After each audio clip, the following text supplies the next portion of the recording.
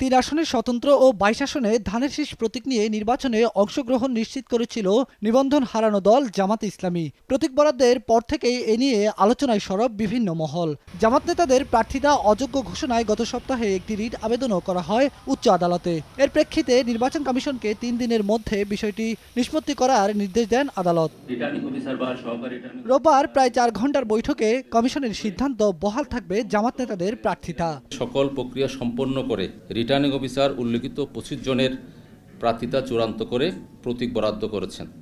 এই অবস্থায় তাদের প্রার্থিতা বাতিলের আইনগত কোনো সুযোগ নির্বাচন কমিশনের নেই মর্মে নির্বাচন কমিশন সিদ্ধান্ত প্রদান করেছেন। বিএনপির প্রার্থীশূন্য আসনগুলোতে নির্বাচন স্থগিত কিংবা পুনঃতফসিলের কোনো সুযোগ নেই বলেও জানান কমিশন সচিব। আদালত কর্তৃক স্থগিত হয়ে গেছে অথবা বাতিল হয়ে গেছে ওই সমস্ত জায়গায় নির্বাচনের তফসিল স্থগিত করার জন্য বিশেষ করে বিএনপি এই আবেদনটি করেছিল। এমন আবেদন আমলে নেওয়ার আইনগত কোনো সুযোগ নেই বলে মর্মে নির্বাচন কমিশন মন্তব্য করেন।